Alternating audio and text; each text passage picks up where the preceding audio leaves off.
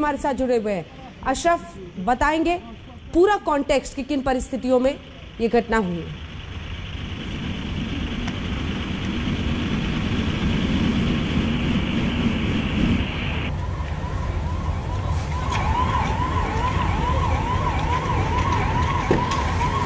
जम्मू कश्मीर के डीजीपी, मौजूदा डीजीपी दिलबाग सिंह साहब इस वक्त हमारे साथ सीधा फ़ोन लाइन पर आज तक पर जुड़ रहे हैं। दिलबाग सिंह साहब, किस तरह की जानकारी इस आतंकी घटना के बारे में आप देंगे? क्या ये अभी तक पता चल पाया है कितने आतंकी थे? किस तरह से उन्होंने ये हमला किया, सर? और साथ ही जो लोग घायल हैं, सबके बारे में पूरी जानकारी। जी, दिन भर काउंटर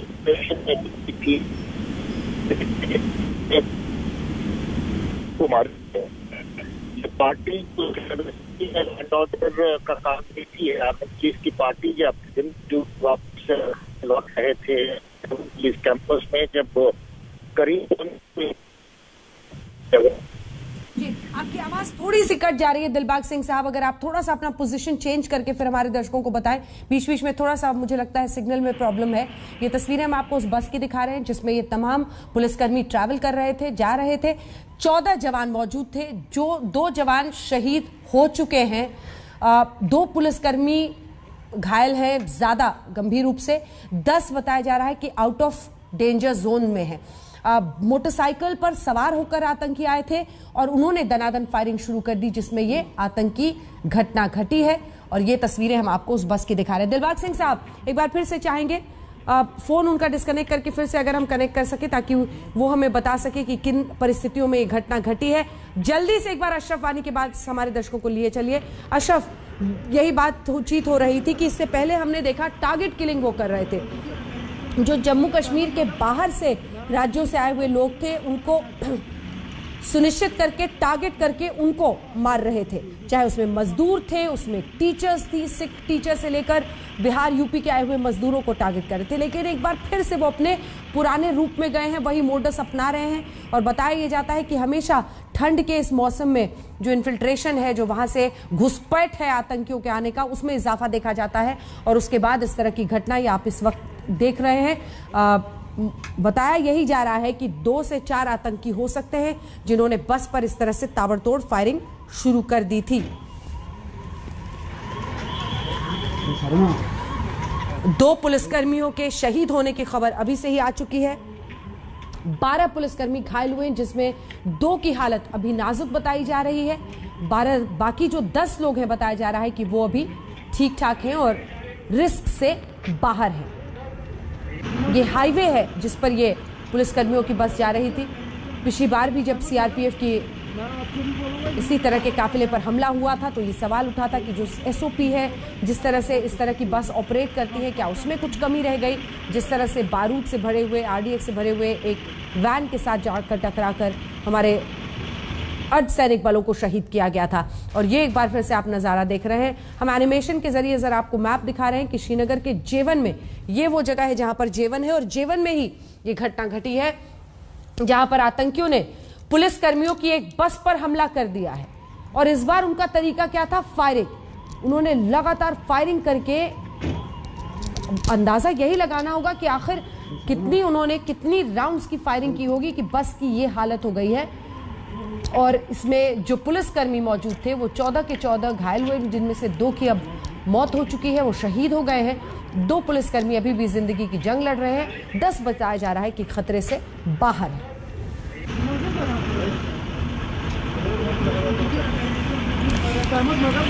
घाटी से अनुच्छेद 370 हटने के बाद जो परिस्थितियाँ विकास की तरफ़ बढ़ रही हैं, उसको फिर नए सिरे से चुनौती देने के लिए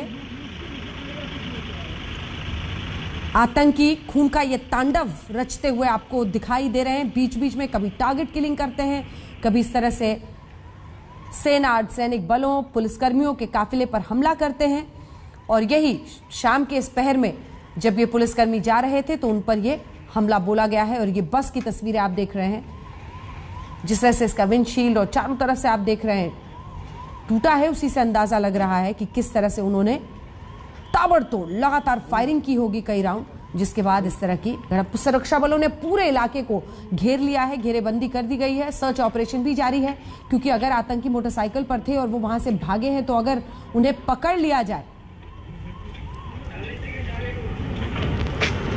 दिलबाग सिंह साहब हमारे साथ डीजीपी जम्मू कश्मीर जुड़ गए। दिलबाग सिंह साहब, आप पूरी घटना बता रहे थे और मौजूदा परिस्थितियों के बारे में हमारी जानकारी दे रहे थे दर्शकों को। बताएँ सर मैं ये कह रहा था कि श्रीनगर और इसके आउटस्कर्ट्स में कुछ अच्छे से टेररिस्ट की मूवमेंट हो रही है जिसके चलते सिटी में तीन से चार कामयाब ऑपरेशन जो है पिछले दो तीन हफ़्ते में हो चुके हैं। हम्म। आज भी एक कामयाब ऑपरेशन सिटी के अंदर हुआ जिसमें दो दहशतगर्द मारे गए। ये पार्टियाँ हमारी जो आर्मड पुलिस की सिटी में ड्यूटी करती सिटी से वापस लौट रहे थे जब इनकी बस के ऊपर हमला हुआ और इसमें चौदह लोग जख्मी हुए जिसमें दो की शहादत हो गई। बाकी लोग हॉस्पिटल में शिफ्ट किए हैं, सबके सब जेर इलाज हैं और अभी तक बताया जा रहा है कि सबकी हालत ठीक है। इस एरिया को इस वक्त घेरे में लिया है, सीनियर अफसर मौके पर हैं, ऑपरेशन इस एरिया में जारी है। बस के ऊपर लगता है कि कम से कम दो डायरेक्शन से फैर हुआ, कम से कम दो दहशतगर्द ज़रूर इसमें शामिल होंगे। और इसका जल्द ही पहचान भी कर लिया जाएगा और इनको जल्दी ही ट्रैक डाउन भी किया जाएगा। सर आप बता रहे हैं कि दोनों डायरेक्शन से फायरिंग हुई है तो क्या माने कि मोटरसाइकिल पर ही सवार थे दोनों तरफ़ से और उन्होंने कई राउंड फायरिंग की? क्योंकि बस की हालत बता रही है कि लगातार उन्होंने काफ़ी फायरिंग की होगी।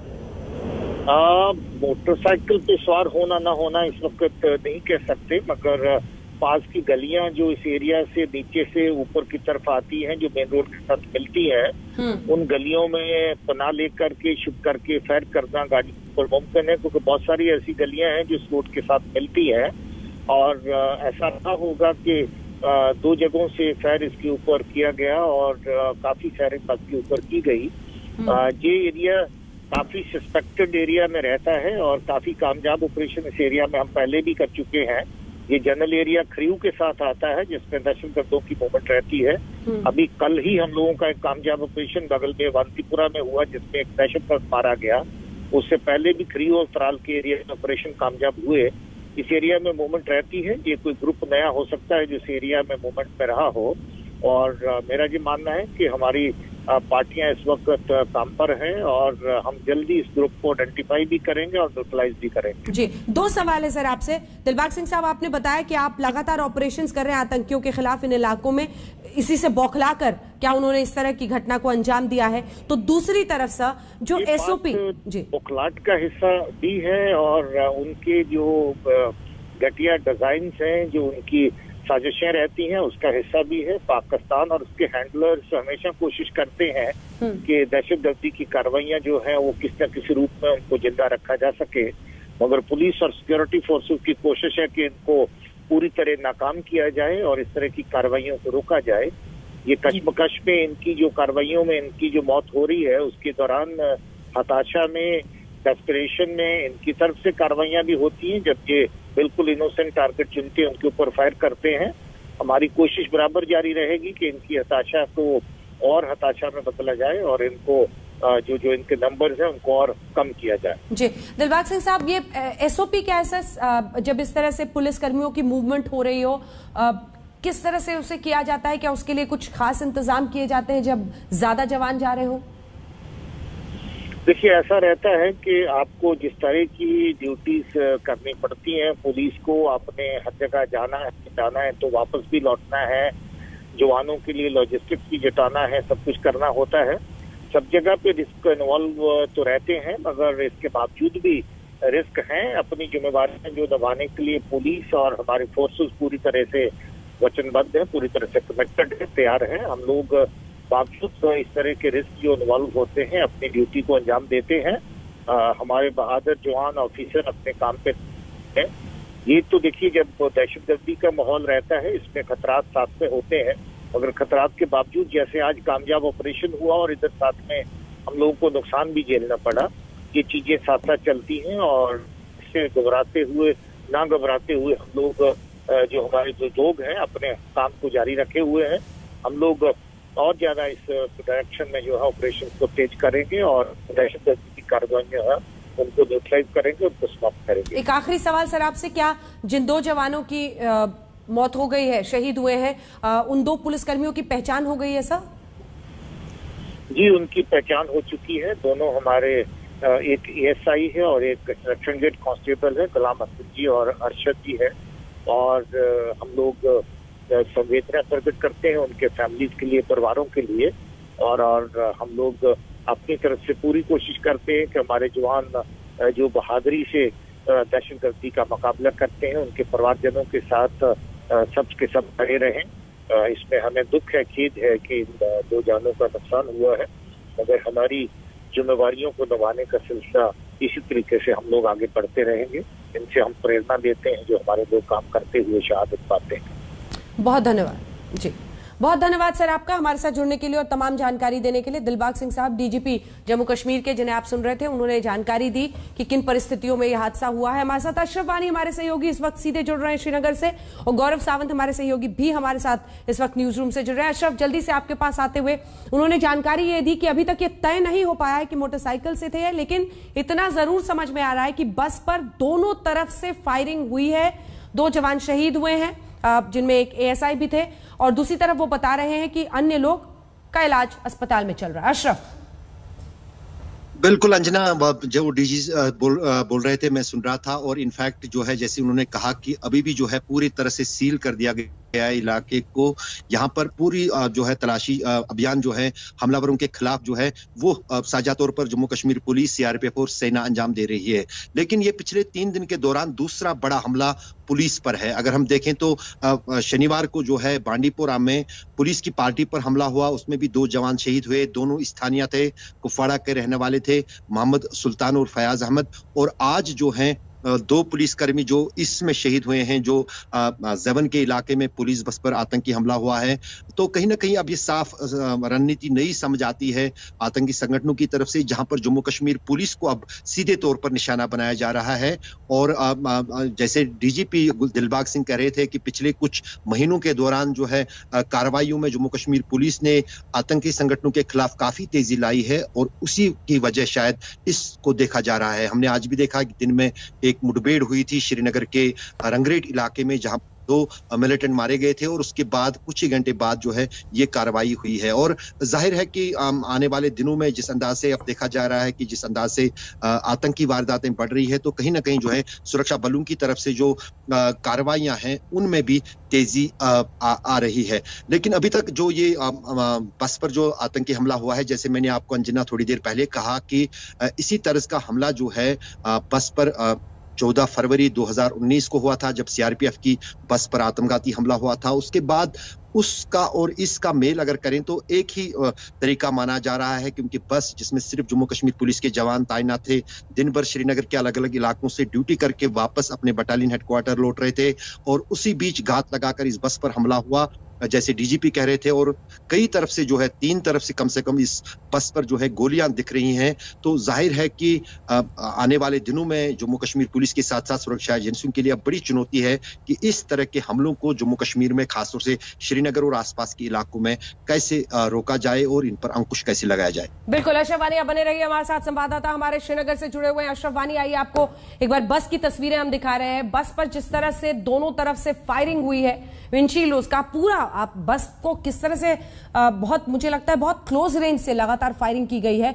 जल्दी से एक बार चलते हैं गौरव सावंत के पास। गौरव डीजीपी दिलबाग सिंह ने भी बताया जिस तरह से ऑपरेशन इस वक्त आतंकियों के खिलाफ चल रहा है हताशा भी है लेकिन इसी के साथ अनुच्छेद 370 से भी आ, इसे डीजीपी वैद्य जोड़ रहे थे और कह रहे थे कि वो बार बार में बीच बीच में घटनाएँ करके दिखाना चाहते हैं कि शांति नहीं बने रहने देंगे। परिस्थितियाँ जो है वो बता रही हैं कि आतंकियों ने जो हमला किया है दोनों तरफ़ से इस बस पर किया है। गौरव। अंजना, जम्मू कश्मीर पुलिस जो है, वो बैकबोन है आतंकवाद के खिलाफ लड़ाई में जम्मू और कश्मीर में। इंटेलिजेंस इनपुट ज़्यादातर जम्मू और कश्मीर के पुलिस अधिकारियों और जवानों के ज़रिए ही आती हैं और इसीलिए आतंकवादी लगातार जम्मू कश्मीर पुलिस को ही निशाना बनाने का प्रयास करते हैं। एक तरह से देखा जाए तो बस में जा रहे पुलिसकर्मी सॉफ्ट टारगेट होते हैं। जिस तरह से घने बसे इलाके में गलियों में से आतंकी निकल कर आए और दो तरफ़ से दोतरफा फायरिंग है, जो प्रारंभिक जानकारी थी। और इस समय सेना सीआरपीएफ और जम्मू कश्मीर पुलिस तीन एजेंसीज हैं जो लगी हुई हैं। पता लगाने में कि ये कौन आतंकी है जो इस क्षेत्र में इस समय एक्टिव है, क्योंकि ज़बरदस्त ऑपरेशन इस समय चल रहे हैं दक्षिण कश्मीर, मध्य कश्मीर के इलाकों में आतंकवादियों को जड़ से उखाड़ने में फॉरेन टेररिस्ट को एलिमिनेट किया जा रहा है न्यूट्रलाइज किया जा रहा है। जो लोकल लड़के हैं, उनको प्रयास किया जाता है कि वो हथियारों के साथ आत्मसमर्पण कर दे। लेकिन अभी दो घटनाएँ ऐसी भी हुई हैं जिनमें आतंकी पुलिस के हथियार लेके कुछ लोग निकले हैं। तो ये भी एक चिंता की बात है, तभी आतंकवादियों के पास इस तरह के हथियार आते हैं और वो इन गतिविधियों को अंजाम दे रहे हैं। इनको न्यूट्रलाइज करना वैसे सेना के लिए बड़ी चुनौती नहीं होगा, सेना और पुलिस के लिए। लेकिन ये जो मानसिकता है, ये कहाँ, किस घर में जाके आप छिप गए होंगे? हथियार लौटा कर क्या ये हाइब्रिड टेररिस्ट है जो मेन स्ट्रीम जीवन में फिर लौटाएँगे? ये आतंक का नया चेहरा जम्मू कश्मीर में सबसे बड़ी चुनौती है समय सुरक्षा बलों के लिए।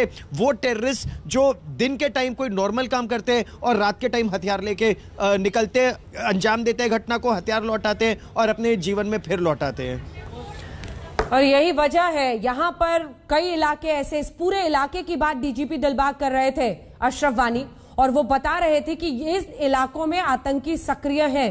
कई ऐसे भी घर हैं जहाँ पर वो छिपकर भाग जाते हैं। तभी अब जो ये ऑपरेशंस किया जा रहा है कि किसी तरह से उन्हें धर दबोचा जाए, शायद उसमें बहुत ज़्यादा कामयाबी की उम्मीद नहीं है। ऐसे तमाम इलाके जहाँ पर वो छिप जाते हैं, आते हैं, ऐसी जगहों पर आतंकी घटनाओं को अंजाम देते हैं और फिर वहीं जाकर छिप जाते हैं, पनाह ले लेते हैं।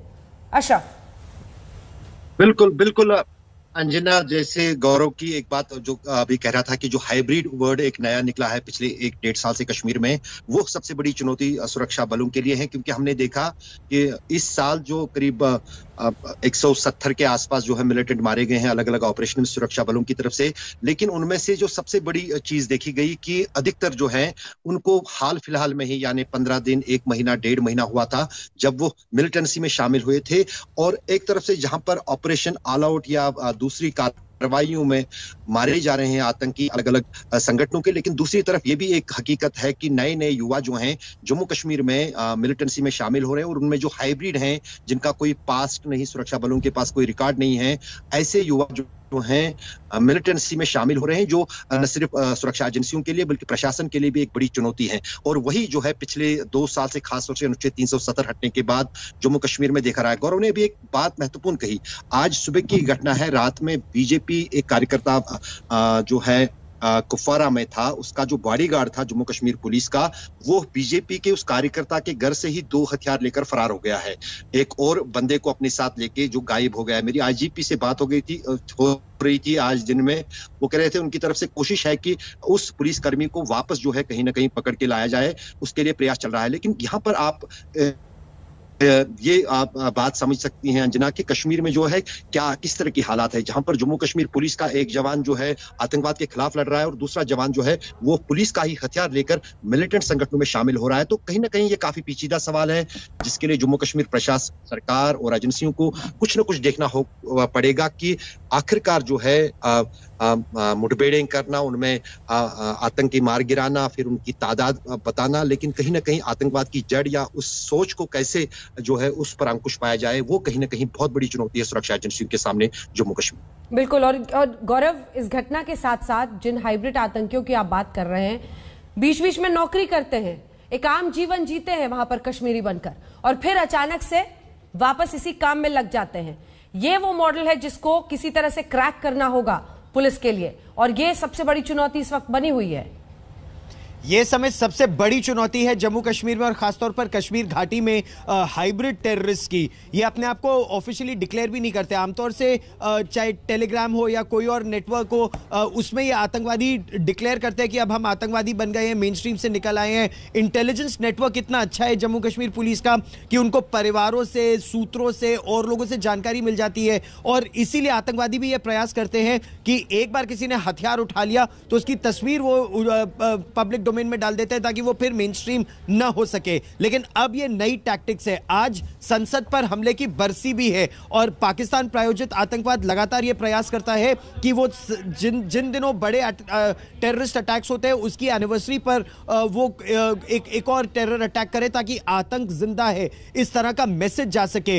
हथियारों को चुराना एस द्वारा चाहे वो किसी पोलिटिकल नेता के घर पर तैनात हो या फिर इस तरह से हाइब्रिड टेररिस्ट का इस्तेमाल करना और ये हथियार कुछ जगहों पर होते हैं। वो इंटेलिजेंस भी एजेंसीज के पास रहती है कि कौन ऐसे लोग हैं जो हथियार अपने घरों में रखते हैं, आतंकवादियों को देते हैं, वो एक घटना को अंजाम दे और फिर उसके बाद मेन स्ट्रीम आ जाए। इस तरह के लोगों को न्यूट्रलाइज करना इस समय सिक्योरिटी फोर्सेज के लिए अंजना सबसे बड़ी चुनौती है। बिल्कुल, आप बने रहिए हमारे साथ। गौरव, गौ... अशरफ और कमलजीत संधू भी हमारी सहयोगी हमारे साथ जुड़ गई लेकिन अशरफ, जल्दी से कमेंट ये जो पुलिसकर्मी है, इसमें ज़्यादातर जम्मू कश्मीर के ही लोग हैं। अब जम्मू कश्मीर के ही लोगों को मार रहे हैं ये। मैंने आपको शुरू में ही अंजना कहा कि अब जो है कहीं ना कहीं ये एक नया पेच देखा जा रहा है जम्मू कश्मीर में आतंकवाद का, जहाँ पर जम्मू कश्मीर पुलिस जो है सीधे निशाने पर आया है। क्योंकि जैसे गौरव ने कहा कि अगर हम देखें कि तो मिलिटेंसी के खिलाफ कार्रवाई में ही जम्मू कश्मीर पुलिस जो है, वो सबसे आगे है। बाकी सुरक्षा एजेंसियों के मुकाबले में चाहे इंटेलिजेंस इनपुट हो या बाकी जितनी भी जो स्पेशल ऑपरेशन ग्रुप है, कार्रवाइयाँ सभी तरक्की और ज़्यादातर उन्हीं की तरफ़ से होती है खासतौर से शहरी इलाकों में या फिर जो डेंसली पॉपुलेटेड एरियाज़ हैं हम्म। और हम अगर हम देखें तो ये जो है ये हम काफ़ी सालों के बाद देख रहे हैं एक तो 2015-16 के आसपास जब हो रहा था जब जम्मू कश्मीर पुलिस के जवानों को घरों में जाकर जब वो छुट्टियों पर होते थे उनको निशाना बनाया जा रहा था हम्म। तब कुछ अंकुश पर लगा लेकिन अब कहीं ना कहीं दोबारा ऐसे ही दिख रहा क्योंकि मैंने आपको कहा कि तीन दिन के दौरान ये दूसरी आतंकी घटना है कुपवाड़ा में एक दिन पहले जो है दो पुलिसकर्मी मारे गए और आज भी जो है दो पुलिस कर्मी यहाँ श्रीनगर में इस आतंकी हमले में मारे गए हैं। अन्य बारह जो है आइल हैं। तो कहीं ना कहीं ये जो है ये काफ़ी घातक है जहाँ पर कहीं ना कहीं जम्मू कश्मीर में जो है आस पड़ोस में भी ही एक ऐसा तनावपूर्ण माहौल बनेगा जहाँ पर एक तरफ़ से एक सोच वाले आतंकी संगठनों से या मिलिटेंट संगठनों से शामिल लोग होंगे और दूसरी तरफ़ पुलिस और प्रशासन से जुड़े लोग। कमलजीत संधू, किस तरह की जानकारी है आपके पास इस आतंकी घटना के बारे में? देखिए, ये जो पाँच पचास के करीब हुआ है, यानी जैसे ही अंधेरा हुआ है, और ज़्यादा इसमें बहुत ज़्यादा इंटेलिजेंस इनपुट ज़रूरत नहीं थी इवन अगर हम आतंकियों की बात करें, क्योंकि खासतौर पे ये वापस जाने का समय होता है जेके आर्म पुलिस का हेडक्वार्टर जीवन में पड़ता है, वहाँ से कुछ ही दूरी पर इस तरह का एम्बुस स्टाइल अटैक हुआ है, यानी मोटरसाइकिल से उतर के दोनों तरफ़ से अंधाधुंध गोलियाँ चलाई गई। हमें बताया गया, करीबन चालीस राउंड गोली चलाई गई, और क्योंकि ये सिर्फ़ बेटन स्टिक्स लेके या रेशील लेके जाते हैं, इनके पास हथियार नहीं होते हैं तो इस वजह से जो जवाबी कार्रवाई जिस तरह से एक आर्म पुलिस की तरफ़ से होनी चाहिए, उस तरह की कार्रवाई नहीं हो पाई। यूजली जो होता है और अक्सर हमें बताया गया है कि एक कोई आर्म पुलिसमैन इन पूरे लोगों के साथ जाता है क्योंकि ये लॉ एंड ऑर्डर ड्यूटी पे डिप्लॉय किए जाते हैं। तो इस तरह से निशाना बनाया गया है। खासतौर पर अगर हम बात करें, कश्मीर टाइगर्स नाम के आतंकी गुट ने इसका ज़िम्मेदारी लिया है, लेकिन हमें फोर्सेस बता रही हैं, ये कोई ऐसा कोई ग्रुप है नहीं। और ये एक तरह का रेड हेरिंग है, यानी चकमा देने की कोशिश की जा रही है। लश्कर या फिर जैश मोहम्मद के आतंकी इसके हाथ इसके पीछे हो सकते हैं। खासतौर पर बात करें हम इस तरह का जो वायलेंट स्पाइक है बीच बीच में देखा जा सकता है। और पिछले कुछ दिनों में आतंकी ग्रुप ने कहा था कि जो कोलैबोरेटर्स हैं और जो जम्मू कश्मीर के जवान हैं, जो कि लोकल हैं उनको निशाना बनाया जाएगा और हम देख रहे हैं कि किस तरह से अगर आज रंगरेट में एनकाउंटर हुआ जहाँ पे दो आतंकी मारे गए हैं तो उसके अलावा अगर हम बात करें जिस तरह से आतंकी घटनाएँ घट रही हैं उसमें इजाफा भी हुआ है हम्म। हालाँकि अगर आप बात करें एलजी उन्होंने हाल ही में बयान दिया था कि अगले दो साल में हम आतंकवाद को बिल्कुल खत्म कर देंगे उसका सफाया कर देंगे हम्म। अब तस्वीरें हम आपको दिखा रहे हैं इस आतंकी घटना की ये तस्वीरें हैं जम्मू श्रीनगर के जेवन की जहाँ पर हाईवे का इलाका है। पुलिसकर्मी एक बस में सवार होकर जा रहे थे। स्पेशल रिपोर्ट की शुरुआत आज इसी बड़ी खबर के साथ हम कर रहे हैं, क्योंकि हम आपको बता रहे हैं कि कैसे 14 पुलिसकर्मियों पर यह आतंकी हमला किया गया है। वो बस में सवार होकर जा रहे थे। मौजूदा परिस्थितियों की तस्वीरें आप देख रहे हैं जिसपे अब वहाँ पर सेना सभी पहुँच चुके हैं। पूरे इलाके को अपने संरक्षण में ले चुके हैं। इलाके की घेरेबंदी कर दी गई है।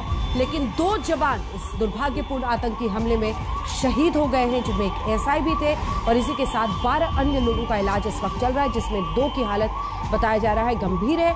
बाकी दस खतरे से बाहर है। ये मोटरसाइकिल पर सवार आतंकियों ने फायरिंग की। इस तरह की शुरुआती जानकारी आई है।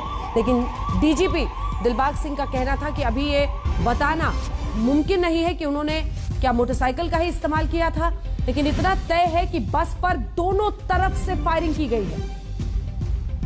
और जो पुलिसकर्मी इस बस में मौजूद थे, वो सभी के सभी इस हमले का शिकार हुए, जिसमें दो की मौत हो गई, बारह अन्य घायल बताए जा रहे हैं। पुलिस की बस पर यह हमला किया गया है और हमारे साथ major general retired Sanjay Kulkarni भी इसी खबर पर जुड़ रहे हैं। कुलकर्णी साहब, हम तस्वीरें दिखा रहे हैं। एक के बाद एक, उनके तरीके बदलते हैं। लेकिन बीच बीच में अनुच्छेद 370 के बाद जो पटरी पर ज़िंदगी लौट रही है, कहीं ना कहीं उसके खिलाफ ये घात लगाए बैठे हैं और पुलिस कर्मियों को इस बार निशाने पर लिया है। फायरिंग से चौदह को एक साथ घायल करना, जिसमें दो शहीद हो गए हैं। जनरल कुलकर्णी। अंजना जी, बिल्कुल ठीक कहना आपका कि 370 के एब्रोगेशन के बाद ये जो है ये पाकिस्तान को बिल्कुल भी नहीं भा रहा है। और उसके बाद जिस तरीके से जो पॉलिटिकल लीडर्स हैं अपने वैली के, वो भी अलग अलग तरह के स्टेटमेंट दे रहे हैं कि हम ये करेंगे, हम किसान आंदोलन के जैसे करेंगे। तो ये जो सारी हरकतें हो रही हैं, और खासकर श्रीनगर में, और ये जो हादसा हुआ है इंडियन रिज़र्व पुलिस की जो बस है, जिसके ऊपर हादसा हुआ, जैसे आपने ठीक कहा कि दो शहीद हो गए, और तकरीबन जो चौदह थे घायल हुए, ये इंडियन रिज़र्व और वो भी पंथा चौक, ये खासकर जो एक्टिविटीज़ है, ये श्रीनगर के इर्द गिर्द इसलिए ज़्यादा हो रही है, क्योंकि बहुत ज़्यादा इनको पब्लिसिटी मिलती है। और हम लोग बार बार ये देख रहे हैं कि आवाम जो है, वो एक तरीके से शांति चाहती है। लेकिन ये पाकिस्तान और पाकिस्तान के ये जितने भी आतंकवादी पिट्ठू हैं, जो भारत में काम कर रहे हैं, उनका मकसद यही है कि किसी तरीके से भी ये दिखाने को कि जो कश्मीरी है वो खुश नहीं है जबकि कश्मीरी खुश है और वो उनको भाता नहीं है। और यही कारण है कि इस तरह के आतंकवादी जो हमले हो रहे हैं वो भी खासकर श्रीनगर के आसपास और ये भी जम्मू श्रीनगर हाईवे के ऊपर हुआ है। मुझे लगता है हमें थोड़ा और सतर्क करना पड़ेगा। रिज़र्व पुलिस की बस के ऊपर हुआ है ये। बिल्कुल। अंजना अशरफ अशरफ कोई अपडेट है वहाँ पर? कुछ अपडेट हो तो बताएँ हमारे दर्शकों को।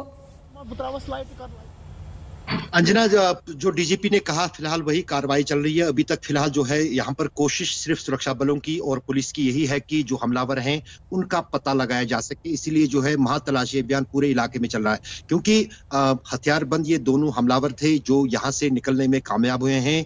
ये भी शक जताया जा रहा है क्योंकि काफ़ी हिसास इलाका ये पूरा है। चाहे फिर पांदत चौक की बात करें, जेवन की बात करें, पास में आर्मी गैरिजन है। तो ज़ाहिर है कि कहीं ना कहीं अगर हथियार लेकर ये जा रहे हैं तो सुरक्षा बलों की जिस अंदाज से मूवमेंट है कहीं दूसरी जगह पर यह सुरक्षा बलों को निशाना न बनाए।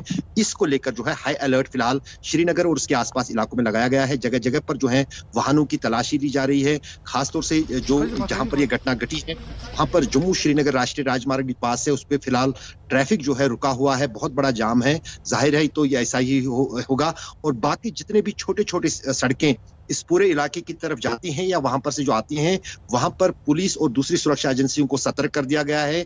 वो सभी चाहे मोटरसाइकिल हो या छोटे वाहन हो या बड़े वाहन हो उनकी तलाशी ली जा रही है और ये सिलसिला मेरे ख्याल में काफ़ी देर तक चलता रहेगा। दूसरी तरफ़ जो अब बाधा इसमें है एक तो अंधेरा है श्रीनगर में कई इलाकों में बिजली नहीं है। दूसरी तरफ़ जो है इस वक्त जो है शून्य से नीचे तापमान है। हम्म। इसमें सुरक्षा की तरफ़ से ऑपरेशन लॉन्च करना भी काफ़ी मुश्किल है। शायद कल सुबह जो है दोबारा सुरक्षा बल जब जो ही लाइट आएगी रोशनी दोबारा आएगी और रात के अंधेरे में खतरा भी काफ़ी रहता है इस तरह के ऑपरेशन को अंजाम देने में। तो ज़ाहिर है कि सिर्फ़ सील इलाके को किया जाएगा और कल सुबह दोबारा भारी सुरक्षा बलों की तैनाती दिख रही है अशरफ। हम तस्वीरें दिखा रहे हैं अशरफ इस वक्त। ये कुछ देर पहले की तस्वीरें हैं। भारी सुरक्षा बलों की तैनाती पूरे इलाके में की गई अब रात का भी पहर है। सर्च ऑपरेशंस भी चल रहा है। अशरफ।